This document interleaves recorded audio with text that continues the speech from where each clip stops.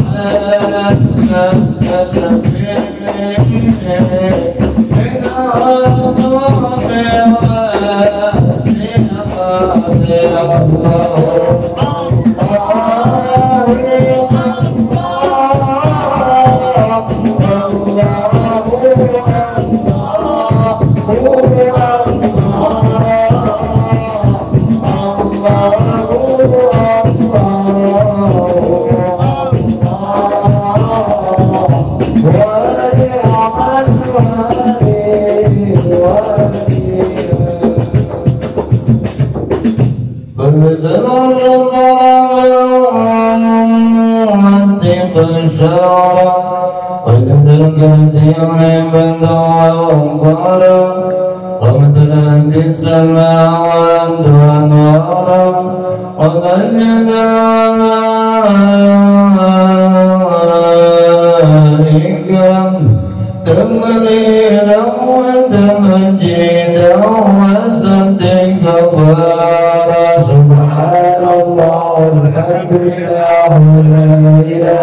إلا الله الله أكبر. سبحان الله والحمد لله ولا إله إلا الله الله أكبر. سبحان الله والحمد لله ولا إله إلا الله الله أكبر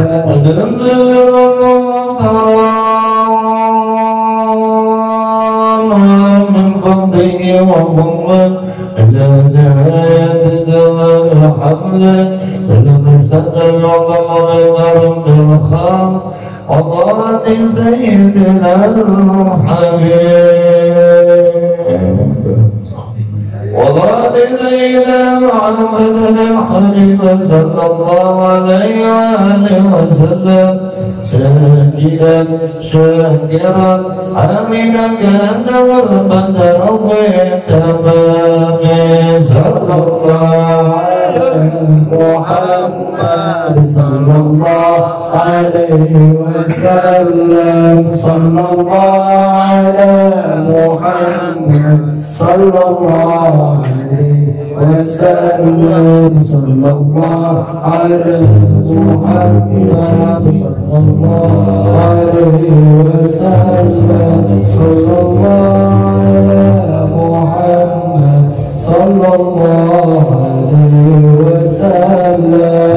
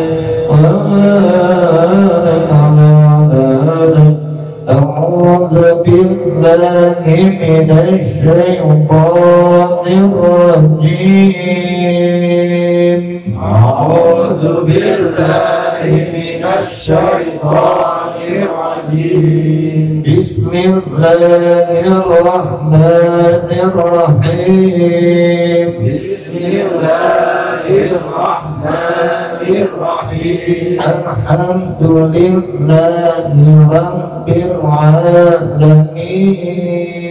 الحمد لله رب العالمين. الرحمن الرحيم. الرحمن الرحيم. مالك يوم الدين. مالك يوم الدين إياك نعبد وإياك نستعين إياك نعبد وإياك نستعين اهدنا الصراط المستقيم اهدنا الصراط المستقيم صراط الذين أنعمت عليهم غير المغضوب عليهم ولا الضالين صراط الذين أنعمت عليهم غير المغضوب عليهم ولا الضالين. اغفر لي اغفر لي. ولوالدي. ولوالدي. وللمؤمنين آمين. وللمؤمنين آمين. بسم الله الرحمن الرحيم. بسم الله الرحمن الرحيم. الحمد لله الذي جعل الماء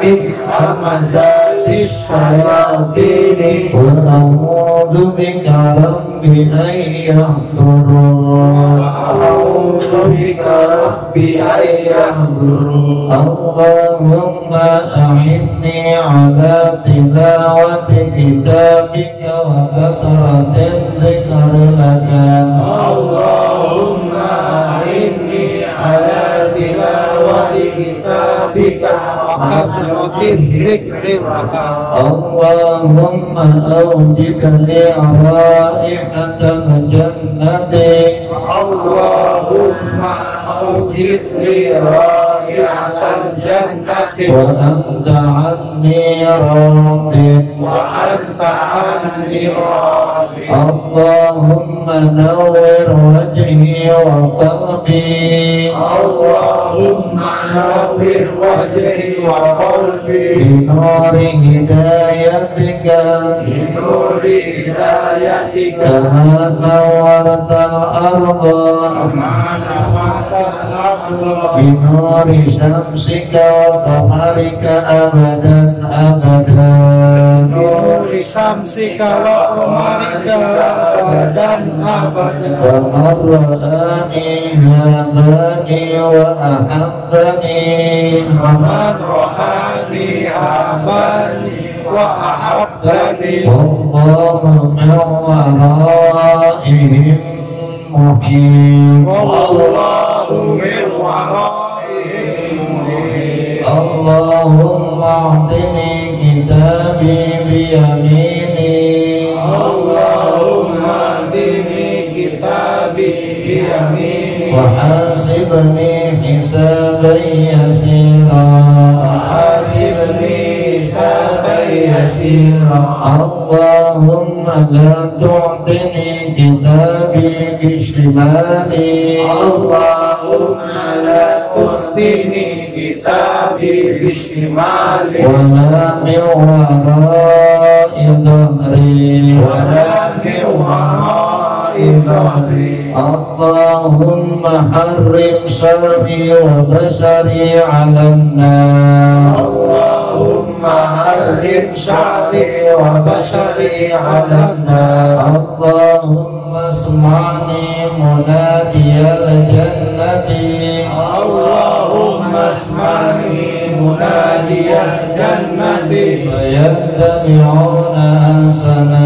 ويتبعون أحسنه اللهم ثبت قدمي على صراط المستقيم اللهم قدمي على صراط المستقيم اللهم لا تزال قدمي على صراط الظالمين. اللهم لا تزال قدمي على صراط الظالمين. بسم الله الرحمن الرحيم. الحمد لله رب العالمين. والصلاة والسلام على أشرف الأنبياء والمرسلين. سيدنا وحبيبنا وشفيعنا ومولانا محمد وعلى آله وصحبه أجمعين. سبحانك لا علم لنا إلا ما علمتنا إنك أنت العليم الحكيم. لا حول ولا قوة إلا بالله العلي العظيم. اللهم صل على سيدنا محمد الفاتح لما أغلق والخاتم لما سبق ناصر الحق بالحق والهدي إلى صراطك المستقيم وعلى آله حق قدره ومقداره العظيم وعلى آله وصحبه حق قدره ومقداره العظيم أما بعد. قال المصنف رحمه الله ونفعنا به وبعلومه وبكرامته وبركاته وأنواره وأنصاره وأسراره ونفعاته في الدين والدنيا والآخرة اللهم آمين Bapak Ibu yang dirahmati Allah Subhanahu wa taala. Alhamdulillah walhamdulillah summa alhamdulillahi rabbil alamin. Ala kulli halin wa fi kulli halin wa ni'matin ya karim.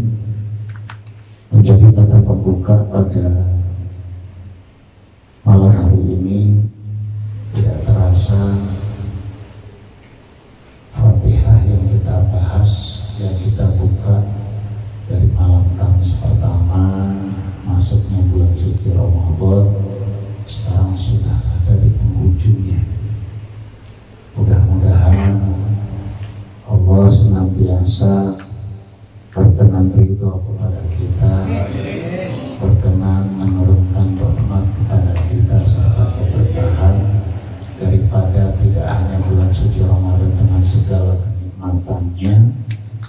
juga dengan kata kumpulnya kita untuk ngaji yang telah menjadi sababiat kumpulnya kita dengan banyak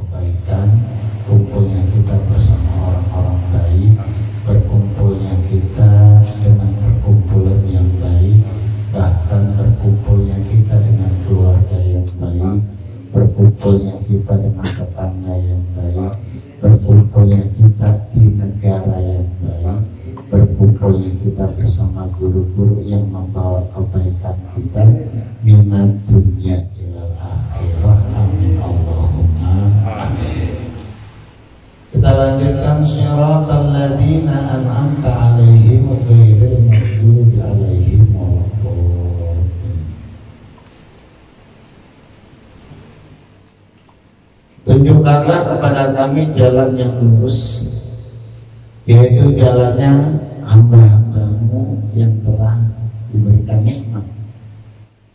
Gairil maktubi alaihim waladhalin bukannya jalan orang-orang yang kau dan bukan jalan orang yang susah itu mungkin terjemahan yang ada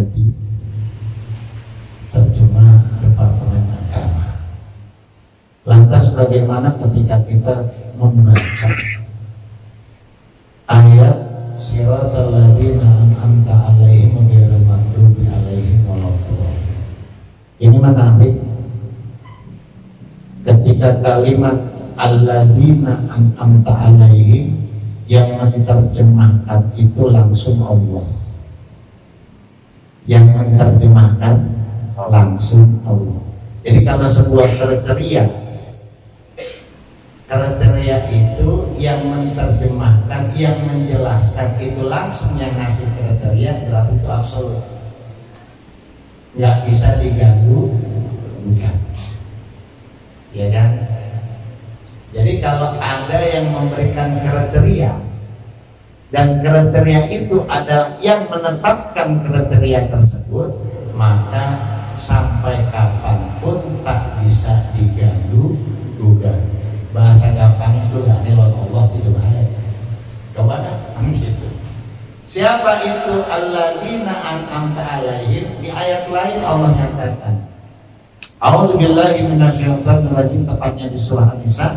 Wa may yuti'illaha war rasula fa ulaika ma'al ladzina an'ama Allahu 'alaihim minan nabiyyina wa siddiqina wa suhada'i was salihina wa hasuna ulaika rafiqa dzalikal fadlu minallahi wa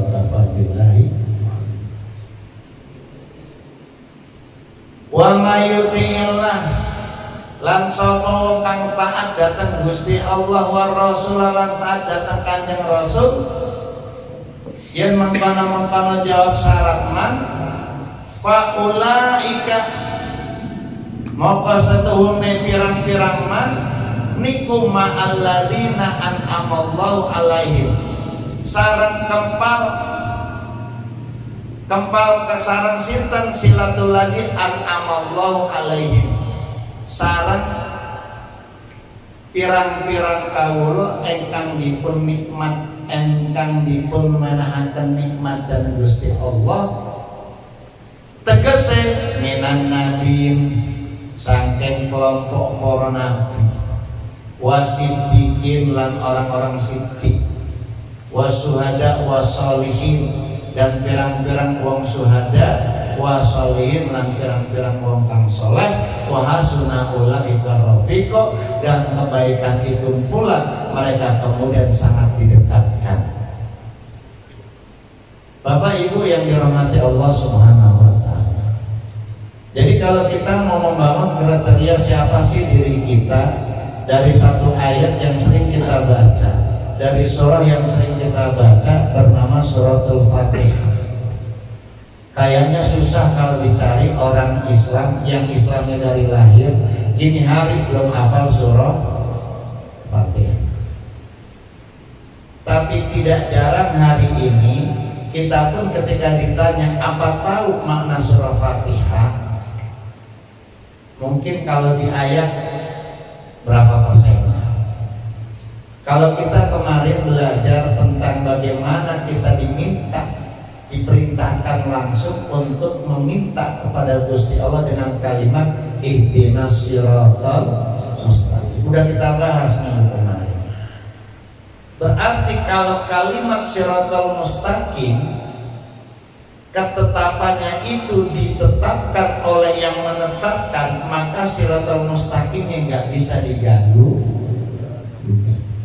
mau pakai cara apa mau nego cara apa tetap kriteria siratal mustaqimnya kagak bisa diganggu bukan kemudian Allah tegaskan dengan bentuk an'amallah. Jadi orang-orang yang ada pada siratal mustaqim itu adalah orang-orang yang pertama mayutiillah wa rasulah Sapa wong kang taat datang Gusti Allah, sapa wong kang taat datang Kanjeng jadi apa pun resiko taat, nggak takut sama makhluk. apa pun resiko hari ini masih banyak kita takut dengan resiko. Masih takut dengan resiko. Padahal kalau sudah taat kita kepada Allah taat kita kepada Rasulullah apa kira-kira resiko yang bisa menghalangi? Pastinya kagak ada kecuali tumpangan nafsu yang kita taati. Nah ibu? Tumpangan nafsu yang kita turuti.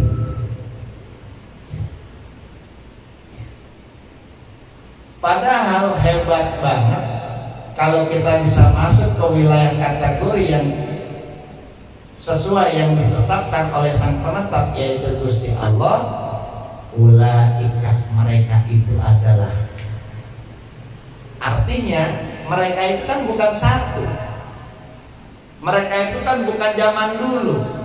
Mereka bisa zaman dulu, mereka bisa zaman sekarang, mereka bisa zaman di masa akan. Mereka itu bisa kakek kita, mereka itu bisa bapak dari kakek kita, uyut dari bapaknya kakek kita.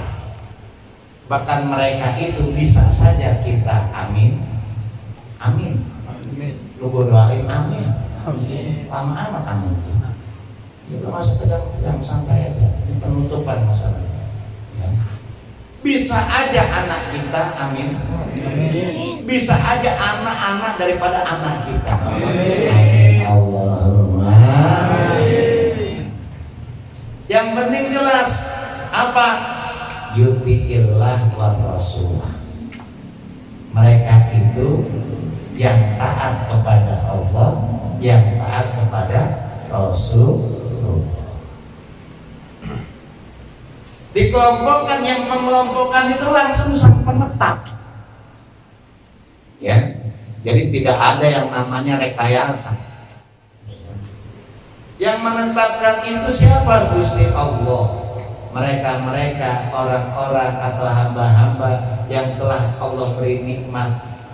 Nikmat apa? Nikmat taat jadi ternyata nikmat yaitu adalah ketaatan. Jadi yang namanya taat itu adalah sebuah kenikmatan. Banyak nggak hari ini kita mohon maaf buat taat tadi kurang nikmat. Dibilang kagak nikmat kayaknya nggak enak. Kurang nikmat tadi nggak ya? Jujur ya? Jujur nggak? Disuruh taat aja kurang Makanya kadang-kadang ketaatan tidak membawa nikmat. Padahal janji Allah siapa yang taat pasti nikmat. Lalu, lalu buktinya ayatnya wa mayyutillah wa rasulah. Nah, ya kan? Ulaika ma'alladzina an'amallah. Oh. Sopo sing taat pasti nikmat sekalipun kadang-kadang taat belum 100% membawa nikmat bukan taatnya yang salah. Bukan perintahnya yang salah. Mungkin cara taatnya kita yang belum pas. Akhirnya belum maksimum apa itu? Nikmatnya. Tuh. Ya. Enak. Nah mereka-mereka itu beliau-beliau itu adalah an-nabiin minan nabiin. Jadi poro ambia poro nabi. Walhasil kalimat nabi ini tentu definisi yang paling jelas yaitu orang laki-laki yang mendapatkan perintah Allah yang mendapatkan firman Allah untuk dirinya. Ternyata Nabi ini juga termasuk di dalamnya include Rasul. Yang namanya Rasul udah pasti Nabi, cuma yang namanya Nabi belum tentu Rasul. Bedanya Nabi dan Rasul, kalau Nabi buat pribadi, kalau Rasul nggak cuma buat pribadi, tetapi juga buat siar. Itu bedanya antara Nabi dan Rasul. Yang kedua, kelompok orang jujur, sidik, Wah ini top benar dan kalau kalimat jujur ini masya Allah ya. Kelompok sintik ini ya kan, ya alhamdulillah punya saudara namanya Solikin mudah-mudahan orangnya jujur lo kayak nggak demen amat aminnya. Kan kita dikit kenapa terpaksa kan lo oh amin. Ya yeah, bang Siti. Iya.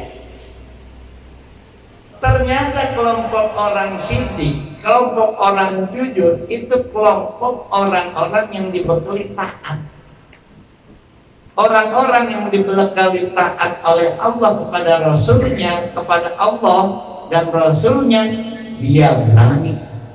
Biasanya sifat orang jujur itu pasti berani. Berarti kalau ada kang sidik belum berani berarti belum? Kalau namanya ada sidik tapi belum berani bisa jadi dia belum jujur. Itu aja kenapa lu takut bukan sidik simple. Kelompok kedua orang-orang jujur. Orang-orang sidik kelompok ketiga itu para suhada. Suhada itu adalah tipe begini simple aja dah. Ya kan? Nggak cuma ngangkat pedang Allah Akbar. Ya kan kalimat syuhada itu hari ini kita sebulan apa sebulan full. Belajar jadi syuhada memerangi diri sendiri. Makanya orang yang mati di bulan suci Ramadan itu pasti sahih ketika dalam keadaan puasa. Kenapa? Mati dalam keadaan memerangi hawa kenapa demikian? Itu ganjaran dari Allah sebab taat kepada Allah, sebab taat kepada Rasul.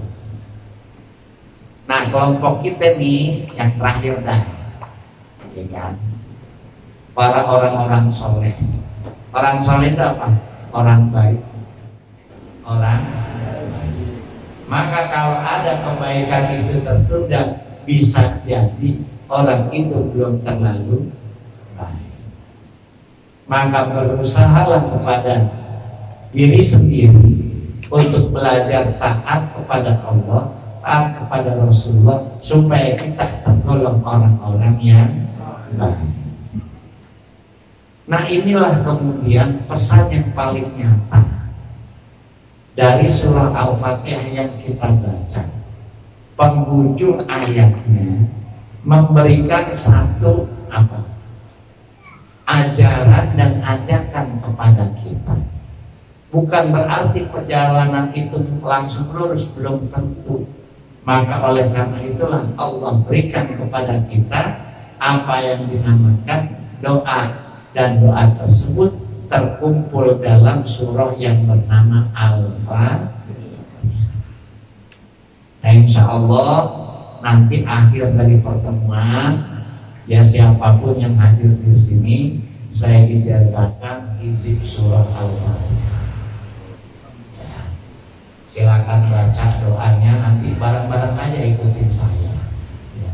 kalau tata caranya kemarin ada satu persatu ya kan? Itu sudah eh, hadir ya itu sudah saya jelaskan. Tinggal bagaimana kemudian doa daripada hizib surah al-fatihah. Itu dulu al-fakir terima langsung selama enam tahun ikut syekhona ya kan? Al-mukarram wal-mukarram sahinal kiram Haji Sukron Mahmud. Jadi Bapak Ibu nggak usah khawatir. Doa yang nanti akan saya ijazahkan itu musal-sal. Saya nggak ngambil dari YouTube karena HP saya nggak pakai YouTube. Nah, saya juga nggak sekedar baca doang ya. Tapi saya langsung simak. Ya baca ya simak ya melihat langsung guru saya selama enam tahun mengajar saya selalu ketika surah Fatihah dibaca akhirnya dengan membaca doa. Dan ini nanti sebagai tahadus bin imam saya ijazahkan sebagai nikmat semua ya. Kepada semua yang hadir tak terkecuali ya. Itu saja barangkali ya kan konsep di mana Allah Subhanahu wa taala memberikan kepada kita satu hal yang dinamakan surah Al-Fatihah yang dikenal dengan Sangkul Masani yang kalau kita gali insya Allah satu bulan pertemuannya cuma seminggu sekali nggak akan cukup. Nggak akan cukup. Maka oleh karena itu mudah-mudahan kita terhindar dari dua golongan. Apa itu terhindar dari golongan orang-orang yang Allah murkai? Terhindar dari golongan orang-orang yang Amin. Kita lanjutkan doa wudhu yang membasuh telinga. Ya. Dibaca bareng-bareng Bismillahirrahmanirrahim. Bismillahirrahmanirrahim. Allahumma asma'ni. Allahumma asma'ni. Munadiyal jannati. Fayattabi'una ahsana. Ini doa kita baca ketika kita membersihkan telinga hari ini hasutan bisikan gak cuma yang kedengeran. Ya kan? Kadang-kadang ada hasutan yang terdengar melalui telinga. Yang melalui telinga yang namanya hasutan namanya bisikan. Eh bu tahu gak ya. yang namanya THR yang namanya THR yang namanya lebaran ketupat ada sayuran ada ketapang ada ya kan? Apalagi kue-kue ada yang belum satu yang ada. Duitnya. Iya. Yeah. betul nggak? Uh, yang benar yang belum ada. Yang belum ada apa? Benar bener dah anak muda ya kan? Pokoknya lebaran gak usah khawatir. Baju? Baju baru? Ada. Peci baru? Ada. Sarung baru? Ada. Minyak wangi? Ada. Ketupat? Ada. Sayurnya? Ada. Kuenya ada. Yang belum ada apa nih aduh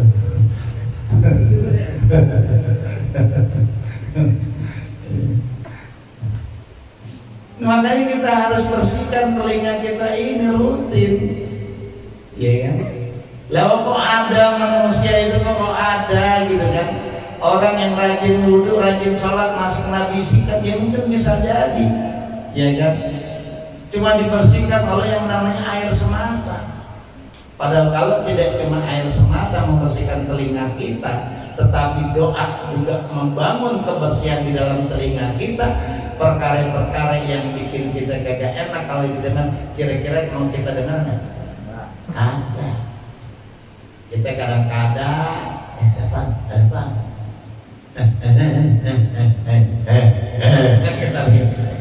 Aduh, masa Allah.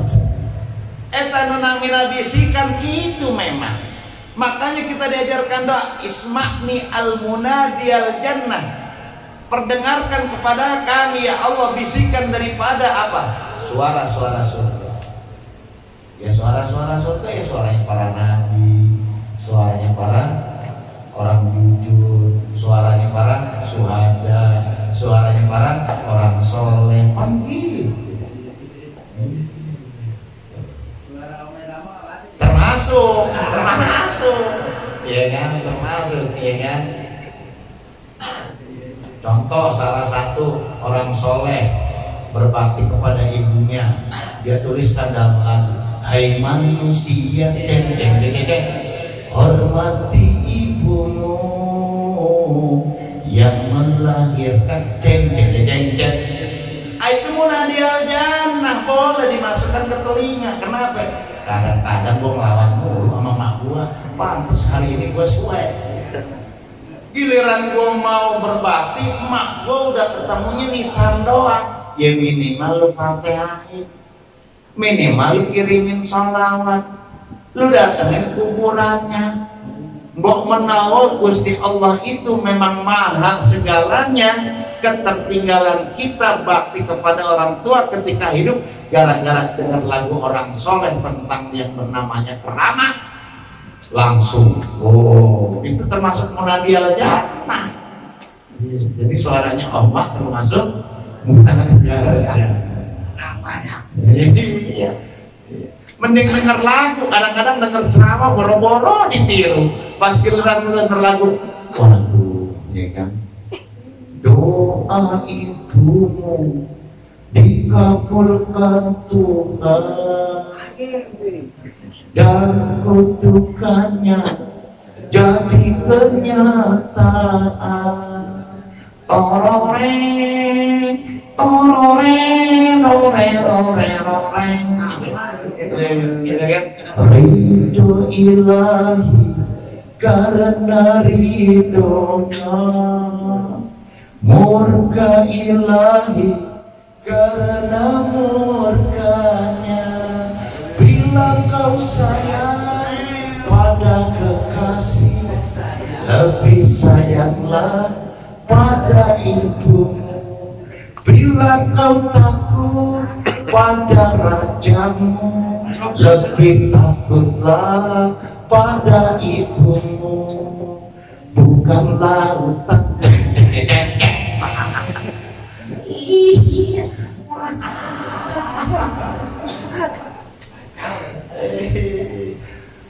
orang soleh ya kan ngasih. Untungnya telinganya biasa wudhu untungnya nggak cuma wudhu tapi baca Allahumma asma'ni. Munadiyal jannah fayatabiuna ahsana. Kelingan mae mboke nang nang wetan nang Jawa Arab sungkem Alhamdulillah tak air wis mudhun ora senajan. Ya ora macet-macetan ora popo Arab sungkan maring wong tuwa. Isma'ni munadiyal jannah fayatabiuna ahsana paham nggih tenang. Berikutnya tidak ada satu kekuatan yang bisa mendorong kita mengikuti ajakan yang baik melebihi zat yang maha baik. Makanya Allah melalui Rasulnya mengajarkan fayat tabiuna banyak berita baik tapi kita tidak diberi kemampuan untuk mengikuti kebaikan itu banyak berita yang mungkin hari ini cuma sekedar lagu, potongan lagu. Gara-gara melihat potongan, ya kan, selebar koran yang udah lusuh, itu pun bekas bungkus bawah, ya kan, pas dibaca, waduh. Sejarah sedikit tentang orang kaya yang berhasil cuma gara-gara apa? Minum air bekas wudhu emaknya. Air wudhu emaknya, ya kan, itu yang namanya cuci kaki emak cuma gara-gara sungkem. Ada berita kecil begitu di koran. Wah buru-buru dia. Kita nggak pernah tahu bapak itu. Ya. Tidak ada satu kekuatan pun di dunia ini yang bisa memberangkatkan kita kepada kebaikan atau berita baik dari surga kecuali sang pemilik surga itu sendiri. Kecuali sang pemilik kebaikan itu sendiri yaitu Allah Subhanahu wa Ya? Berikutnya doa membasuh kaki kanan. Ya. Bismillahirrahmanirrahim. Allahumma sabit qadami ala siratil mustaqim. Ya Allah, tetapkanlah langkah kami pada jalan yang lurus. Ayatnya siratal ladina an'amta alaihim pas nyambung. Ketika kita membasuh kaki kanan, jangan cuma ngebasuh baik. Eta doa, eta doanya dibaca. Supaya apa? Supaya tidak ada keraguan terhadap kebaikan tersebut. Sebab keraguan mau kaki lu dari bajak tetap melangkah kalau yang nahan itu kerak. Benar. Hari ini banyak di antara kita banyak mendengar kebaikan. Hari ini di telinga kita, tidak cuma di telinga kita, di kepala kita banyak memori keba kebaikan. Hari ini tidak cuma memori kebaikan dengan di kepala, bahkan tampak di mata kita kebaikan, tapi kita tidak sanggup menuju jalan itu. Bisa jadi keraguan masih mengikat kaki.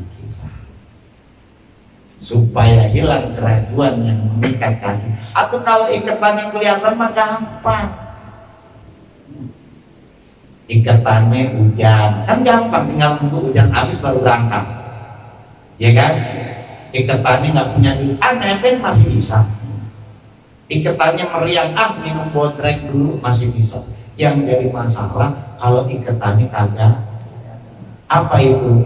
Keran buah badan lebih mudah apa namanya? Lebih mudah mencopot ikatan yang kelihatan ketimbang mencopot ikatan yang agak terlihat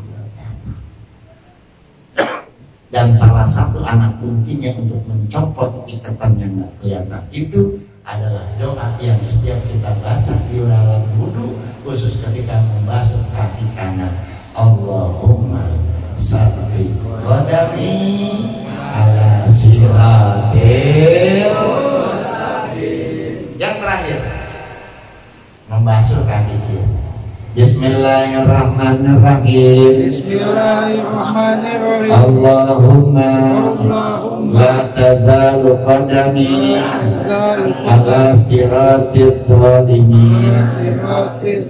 Ya Allah, jangan kau gelincirkan kaki kami pada langkah orang-orang yang zalim. Artinya orang dolim bisa jadi bisa bisa jadi muslim. Orang dolim bisa jadi dia ngaji dari ibtidaiyah, sanawiyah, aliyah bahkan sudah dijadikan ustadz oleh tetangganya, oleh masyarakatnya, udah dipanggil haji oleh tetangganya. Namanya orang dolim bisa saja dia itu harus bergelar. Kalau hari ini tidak karena kasih sayang Allah untuk menutup langkah-langkah kedoliman kaki kita saya rasa hari ini kita nggak kumpul di ruangan ini. Ada langkah yang terhenti karena pandangan. Ya kan? Wah enak. Untung Liga satu gak habis. Coba kalau malam ini Persib yang main. Nggak tahu lah berangkat atau enggak kira-kira begitu. Kalau saya penggemar Persib kebetulan saya cek mania. Ya kan? Kebetulan saya cek mania. Kira-kira kalau bukan ya kan? Allah yang menutup pintu kedoliman itu. Pas lagi ada the mania main bisa berangkat nggak kita nanti belum tentu. Maka yuk hari ini benteng yang menghalangi langkah kita sesuatu yang mengikat langkah kaki kita yang sampai harus menjerumuskan kita kepada langkah-langkah orang yang dolim mudah-mudahan dihindarkan oleh Allah Subhanahu wa taala. Terserah berapa umur pun hari ini yang hadir. Berapapun kita hari ini umurnya, ya itu nggak jadi soal siapa pun yang Allah tetapkan untuk dihindari dari langkah-langkah orang yang dolim maka orang tersebut sangat Allah mudahkan untuk hadir pada langkah-langkah yang perjalanan orang-orang yang telah Allah berikan nikmat yaitu sekelompok atau rombongan para nabi rombongan orang yang jujur rombongan para suhada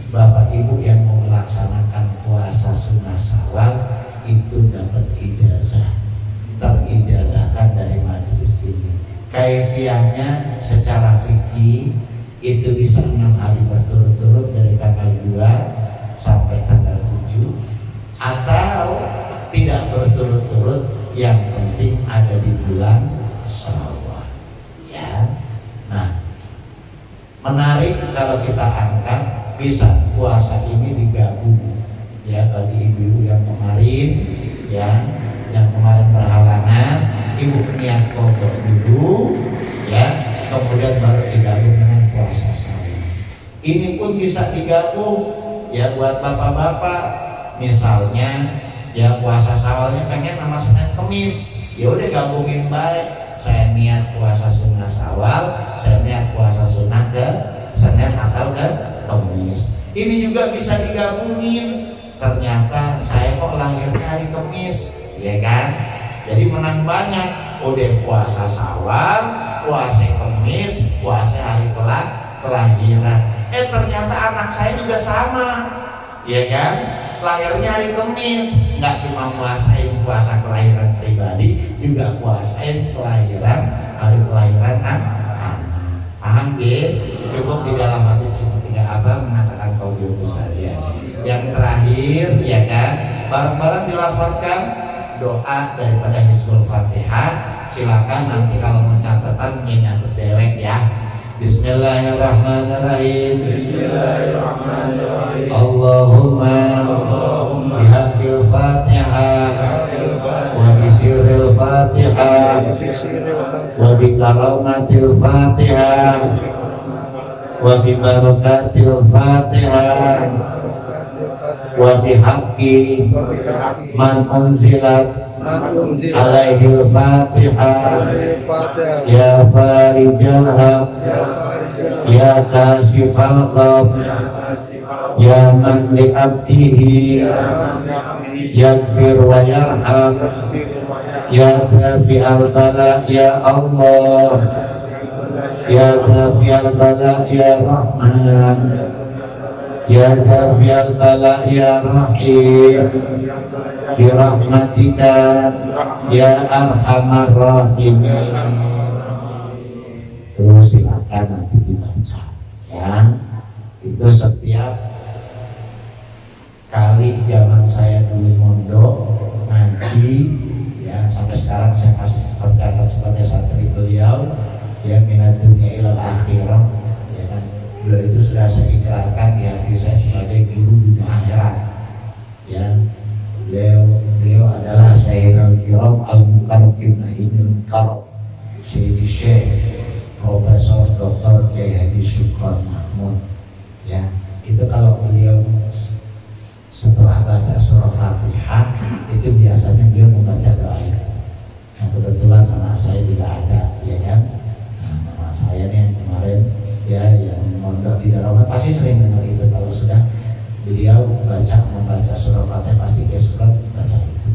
Ya, itu saya berikan kepada bapak ibu sebagaimana bapak ibu hari ini ngaji dan juga sebagaimana dulu saya ngaji dari guru saya beliau dari gurunya beliau dari gurunya ila Rasulullah Shallallahu Alaihi Wasallam. Dan alhamdulillah